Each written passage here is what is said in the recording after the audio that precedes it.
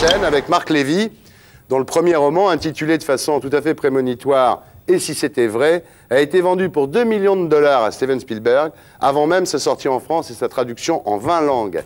Pierre Becquet est allé voir se transformer le conte de fées en compte en banque, Magneto. C'est incroyable, c'est un énorme gâteau, c'est un cadeau génial, c'est euh, c'est un moment de vie formidable. Ce qui m'arrive, bah, j'ai écrit un, premier roman et le livre a été, euh, enfin, les droits du livre ont été cédés à Steven Spielberg qui va faire le film à la fin de l'année.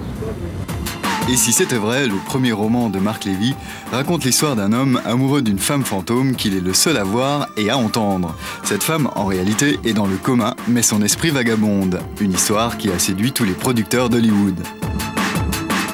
J'avais écrit cette histoire euh, en la dédiant à mon, petit garçon, euh, avec pour idée qu'il la lise dans 20 ans.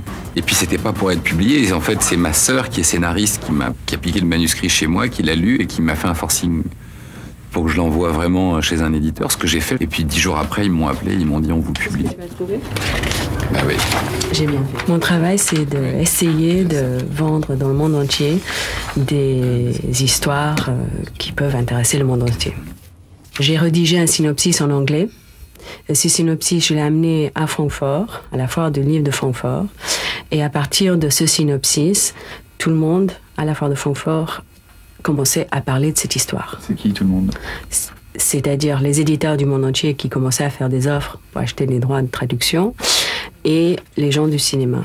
Ce bureau ici était harcelé par coups de téléphone du matin jusqu'au soir, même les producteurs qui se réveillaient au milieu de la nuit à Los Angeles pour nous appeler. C'est vous qui avez choisi le producteur, alors c'est vous qui avez choisi Spielberg, non? C'est énorme ce que vous venez de dire.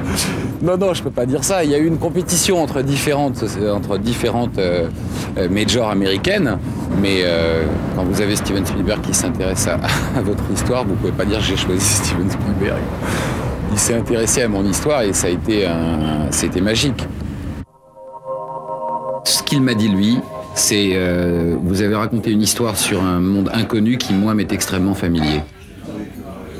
Ce qui a touché Steven Spielberg dans cette histoire, je crois que c'est la générosité des personnages, euh, la répartie et en même temps la tendresse qu'il y a en eux.